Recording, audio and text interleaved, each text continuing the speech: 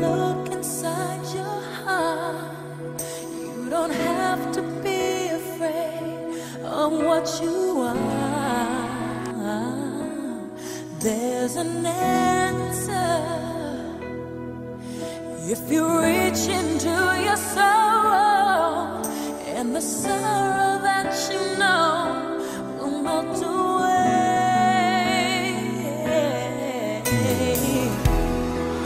and then a hero comes along with the strength to carry on, and you cast your fears aside, and you know you can survive. So when you feel like hope is gone, look inside you and be strong, and you'll finally see the truth that a hero